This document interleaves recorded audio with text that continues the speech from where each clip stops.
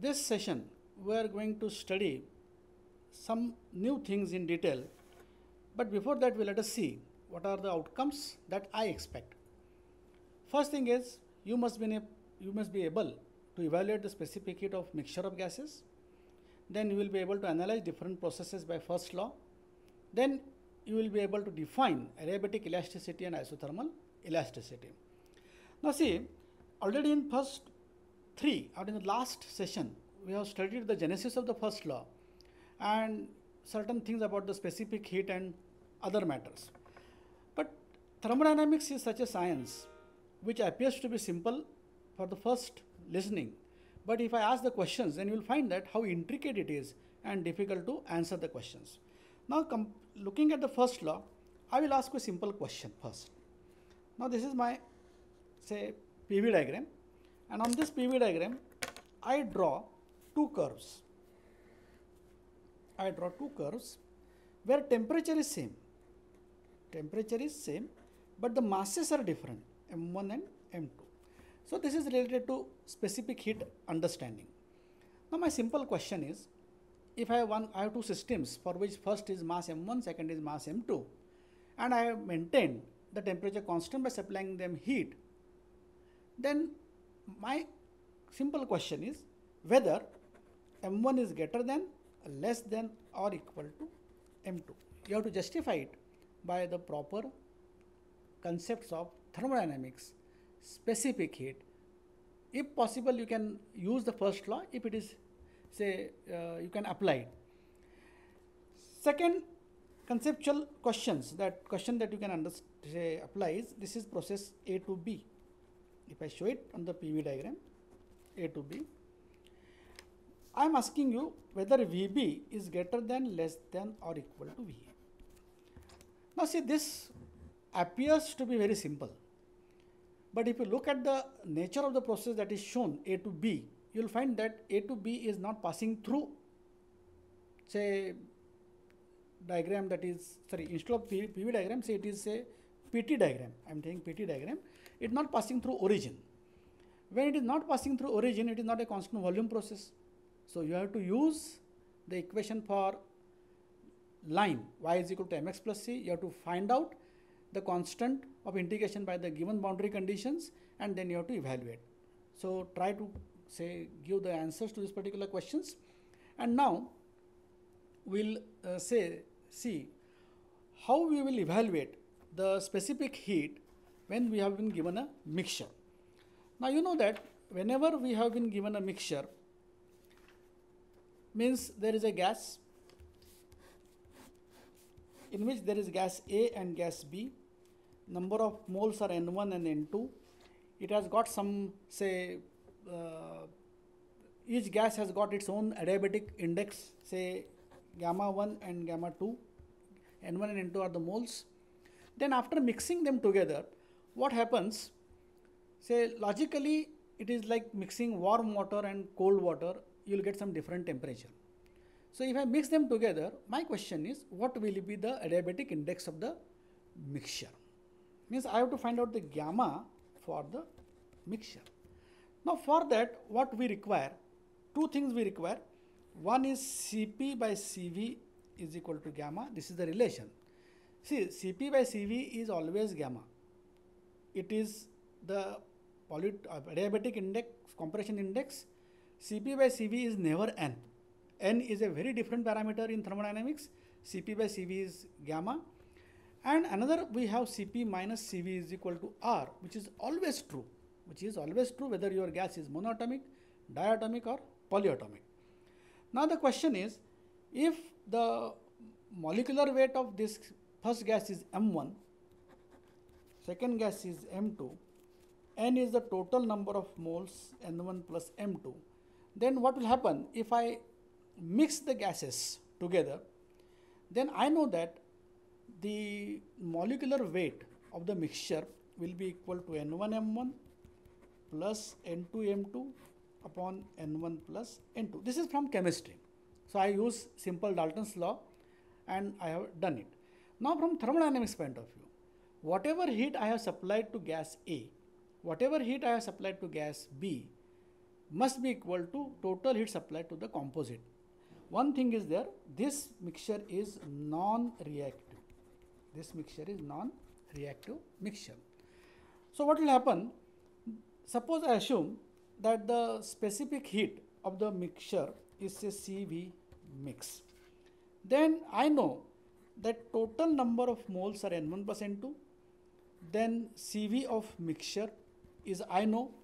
Then temperature rise must be equal to I know N1 CV1 into T plus N2 CV2 into T2. So this is my simple equation that is I have written from the simple first law of thermodynamics or it is a simple principle of energy conservation. Now one thing I say forgot to tell you about the first law that already we have derived, it is the conservation of energy principle. Because whatever heat we have supplied, we have tried to find out where it has gone. So it has gone in expanding the medium and also it has gone in changing the energy, internal energy. So because of this, there is a conservation. But first law is not complete law for understanding thermodynamics because it never states anything about whether the process is possible or not. So for example, suppose I, I rub my two hands, then what will happen? My hands will become warm. So as a result, there is because of the friction, because of the work done, there is a heat generation. So you know that moving the rubbing the hands is a mechanical work that I am doing, and I am getting heat instead. That is, I am converting that work into heat. Hand is becoming warm. Now suppose you held your say suppose you keep your hands like this, say for example, and if you supply heat from the bottom with the help of a candle, will your hands move automatically? Never. So this is the second law that we are studying in our other modules. So in the second law, we give the direction that where the process will take place. So this is the principle of conservation of energy which every process must follow and also it must obey the second law and then only we say that the, process, the particular process is feasible. Now by these two relations Cp minus upon Cv is equal to this and this one, we can find that Cv of the mixture is going to be R upon gamma minus 1, then Cv1 is equal to R upon gamma 1 minus 1 and say Cv2 is equal to R upon gamma 2 minus gamma 1. Why we are doing this?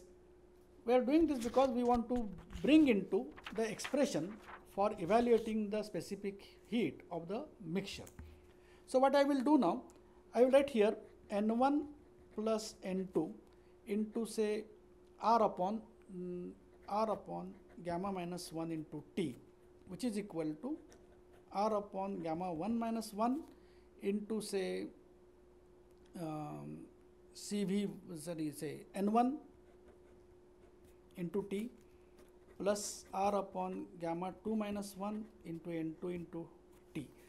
So if I cancel out the terms, I will get N1 plus N2 upon gamma minus 1 is equal to N1 upon gamma 1 minus 1 plus N2 upon gamma 2 minus 1. This is a very important say relation from which we can get the expression for gamma for the mixture. So this gamma is for gamma of mixture okay that we can get it. So this is about the specific heats. Now if I ask a simple question that we have to apply the first law for various processes. Now when I apply the first law for various processes, the first process I take for evaluation is a on the PV diagram, uh, say constant pressure process. Either this way or I can go by this way. So 1 to 2 or say here from A to B. Now you can see I had drawn this diagram on both that is both diagrams on the PV diagram. In the first I go from 1 to 2, in the second I go from A to B. If I ask you what is this process? It is a constant pressure process. The first is expansion, second is yes compression because here volume is reduced here volume is increased. Now, if I draw the isotherm passing through this and passing through this, similarly if I go from this and this, you will find that when I go from process 1 to 2, area under the process 1 to 2 is the work done. And if it, this is this direction it is moving, it is a clockwise, it is a clockwise direction, so it is a positive work, this is a negative work.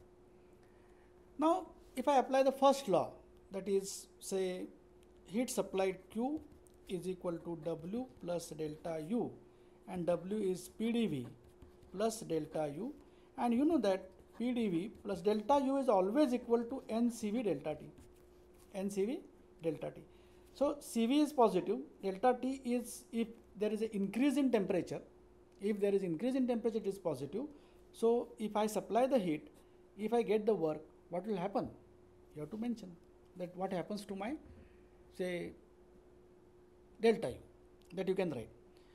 Now based on this, if I ask you a simple question that on the PV diagram, I show you two volumes. Say this is V1 and this is say V2 and this is my first process. I expand this way and this way. So you have to identify which is this process. This is isothermal or adiabatic. This is isothermal or adiabatic. First thing. And from that you have to find out in which case we get more work. If it is this process is having a less slope, so this is say isothermal and this is adiabatic, already you have studied this. So you can see if the same volume, that is same expansion is there, then area under the isothermal is more than area under the adiabatic. Is it not? But the problem is in isothermal, the pressure is higher than the adiabatic. So if your choice of a device is to take complete benefit of the expansion of the gas, then don't go for isothermal, go for adiabatic. So these are very complex things that we are going to see in detail in our say uh, next parts. Now those who are interested in say studying further, for them there are certain standard books that you can uh, say refer to. That is one is thermodynamics by Nag and second is thermodynamics by Yunus Cengel. Now see thermodynamics is